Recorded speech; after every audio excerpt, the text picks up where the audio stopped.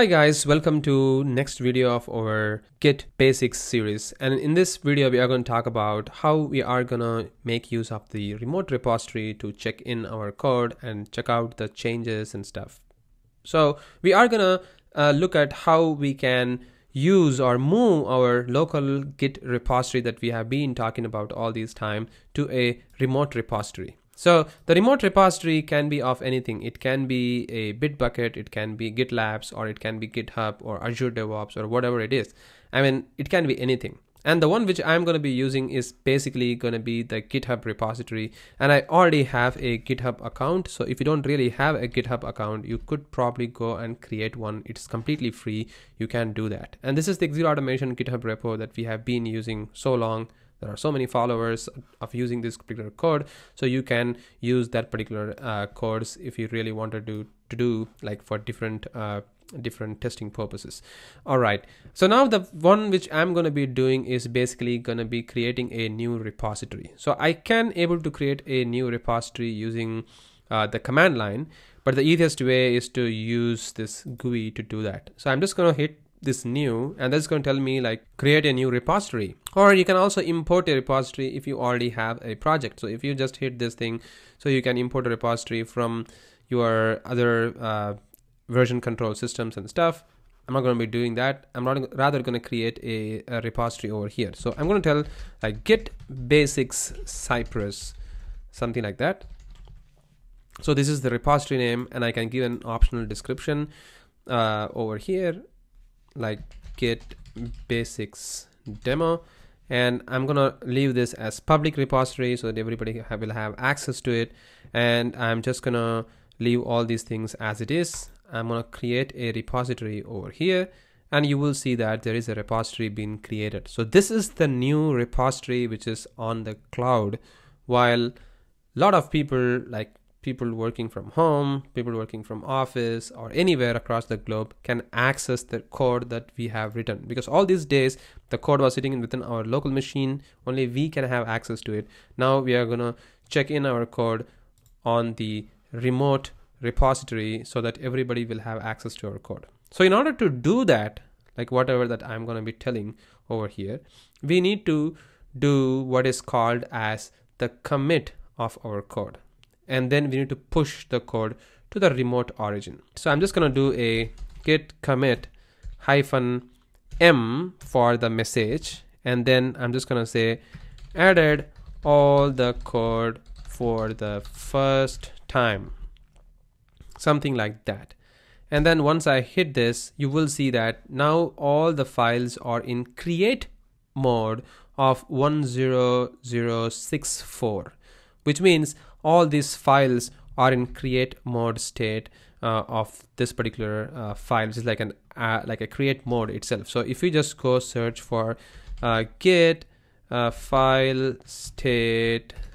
uh, 106 10064 then you will see that this is the file mode of the git itself. And if you just search for f you will see that it is how it is going to be. So this number is going to be always the same if you're going to be doing a file on the create mode itself which is cool. So now we have really committed a file and then I'm just going to be uh, checking in this code. So you can see that it's gonna give you more information. So you have committed it and now you need to git branch to a main branch and then you need to add it. So at the moment let's say if you just type git branch over here it will tell you that it is a master branch. Well, Git has changed the terminology of master branch and stuff to main branch. So we can just use that same thing over here as well. So I'm just going to do a git uh, branch and you can see what it's saying hyphen m of main.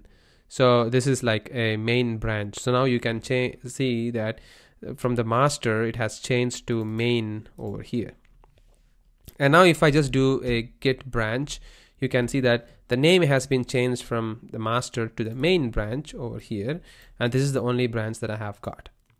And now I need to push this particular uh, code to the remote branch. So in order to do that, I'm just going to do a git push of the remote.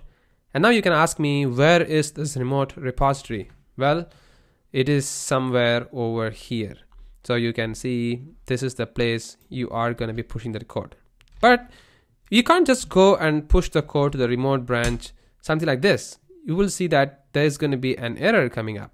Well the reason of the particular error is because you need to first of all tell the git of this local repository that I need to add the origin of the remote repository. So you can see that there is a git remote of add of the origin which is going to be of this particular address that I'm going to be using this one.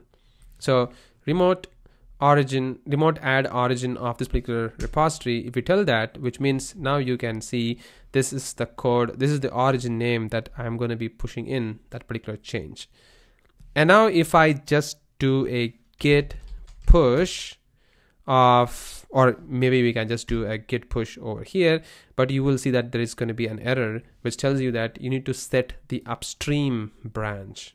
Just don't worry about the upstream branch and stuff at the moment but uh, let's just go with whatever the information is coming up over here. So it says git push set upstream origin main which is correct. So i can do that over here. And because i'm doing a push all the code that we have available we have on the create mode at the moment is now being sent to the origin itself. So you can see that there is so many things happening at the moment. There is going to be a delta compression using up to eight threads uh, which means it's compressing all our files uh, and compressing the object to 100 percentage. And then it is writing the particular file. So there were like 34 files before. Um, so all these files are now gone uh, and it's been sent to the uh, origin from the main branch that we had all right now let's do a git status you will see that on the branch main and your branch is up to date with the origin main so which means it's telling me that currently it is now up to date with the origin main itself. So what has really happened over here? So if you refresh this page, you will see that our code is actually sitting at this particular point of time. And there is this Cypress folder with all the code which was sitting within our local machine is now being pushed to the remote origin, which is cool. And now if I make any changes on my local machine, then it is only going to make the change on the local machine unless until we do a push to the remote branch. So there is not going to be any change happening on that. So now you can tell your uh, your co-worker or colleague or your friend to check out your code from this particular URL that is available. So they can do all sort of things. I mean, I will tell you how to clone the repo and everything in our next video but as of now you can see that this is what is gonna really happen on adding your code to the origin or the remote repository using git